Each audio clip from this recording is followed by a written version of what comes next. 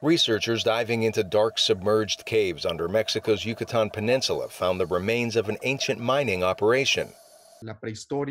Eh, Prehistory still holds many mysteries for researchers. The mine is one of those discoveries that opens doors and windows to that remote past. It is extraordinary what these CINDAQ explorers found within these flooded passages evidence of mining 10,000 years ago. Roberto Junco is a deputy director at Mexico's National Institute of Anthropology and History. He applauds researchers from CINDAQ who discovered an ochre mining operation that started 12,000 years ago. CINDAQ is the Spanish acronym of the Research Center for the Aquifer System of Quintana Roo, the Mexican state that is home to Cancun. It already allows us to begin to understand some of the dynamics of those early societies. What were they doing with this ochre?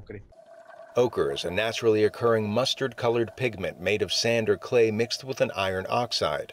Its color and properties made it popular at the time. They used it to paint themselves, as some African tribes do today. They used it for medicine because ochre fights bacteria. They used it for symbolism. I love to think that this ochre was the beginning of the first artistic manifestations. Researchers found tools like hammerstones and pile drivers made of stalagmites. They explored seven kilometers and more than 100 dives to find this abandoned mine, likely submerged 8,000 years ago amid rising sea levels following the last ice age. Arash Arabasadi, VOA News, Washington.